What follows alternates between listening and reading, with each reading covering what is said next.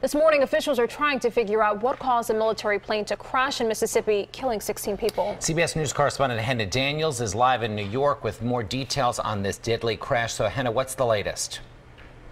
Good morning, guys. Well, officials say the U.S. military plane used for refueling crashed, prompting an urgent rescue effort in one of the most rural regions of the South. We're told bodies were found about a mile from the crash site. Now, the Marine Corps says it operated the plane, but hasn't said where the flight began or just where it was going.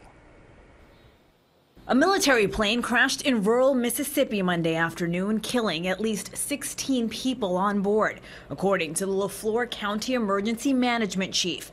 Witnesses say the Marine Corps refueling tanker was seen spiraling towards the ground into a soybean field about 85 miles north of Jackson. Crackling noise. Is it something? Then it said, it was all over, but it was loud. It's just scary. It's just scary because after I seen all the black smoke, it's just something, you know, it's horrifying. All a Marine Corps spokesperson would say so far is that the KC 130, quote, experienced a mishap. The flames burned for hours. Witnesses say so hot that at one point firefighters had to pull back. They spraying that foam on it. Every time they stop, it lights back up.